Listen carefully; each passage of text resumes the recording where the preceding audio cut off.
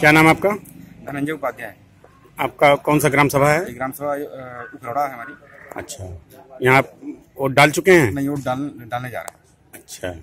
यहाँ आपको आकर कैसा महसूस हो रहा है? बहुत अच्छा लग रहा है आकर के अभी तक जो है छत्तीस वर्ष हमारी आयु है और करीब हम पाँच छः बार से हम वोट दे रहे हैं लेकिन पहली बार हमको लगा कि इतना बढ़िया बूथ है ये कि आदर्श बूथ जो नाम दिया गया है उस आदर्श बूथ को ये पूरी तरीके से उस पर फिट बैठ रहा है ये आदर्श बूथ है। और जो ग्राम प्रधान जी और यहाँ के ग्राम सचिव हैं अधिकारी महोदय जी लोग काफ़ी व्यवस्था किए हैं पानी पीने की व्यवस्था किए हैं।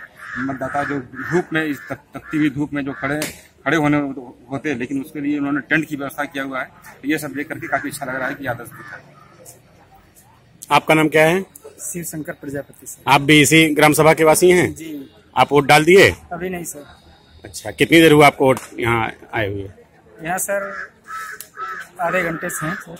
अच्छा तो आपको यहाँ कैसा महसूस हो रहा है आकर बहुत अच्छा महसूस हो रहा है सर। यहाँ की व्यवस्था बहुत अच्छी है। आपका मुख्य मुद्दा क्या है इस बार जो वोट डालने आए हैं? तो आप क्या चाहते हैं? मुख्य मुद्दा सर विकास है।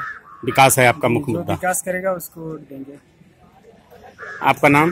विशाल नाम। आप भी इसी ग्राम सभा के वासी हैं? हाँ इसी ग्राम में सर। आपने वोट डाला? हाँ मैंने वोट डाल दिया है। वोट डाल दिए हैं। मैंने वोट डाल दिया है। आपने वोट डाल दिया है। तो वोट डालने में आपको कैसा महसूस हुआ? हमें बहुत अच्छा लगा। पहली बार हमारे ग्राम सभा में उत्सव के रूप में मनाया जा रहा है। और इससे बहुत हमें नया युवा मतदाता बहुत ही प्रसन्नित था। और आदर्श बूथ के नाम पे जो व्यवस्था यहाँ पे ग्राम प्रधान द्वारा की गई है उससे बहुत ही खुशी हो जाए खुशी महसूस हो सब्सक्राइब कीजिए हमारे डायनामाइट न्यूज़ चैनल को और दबाइए इस बेल आइकन को।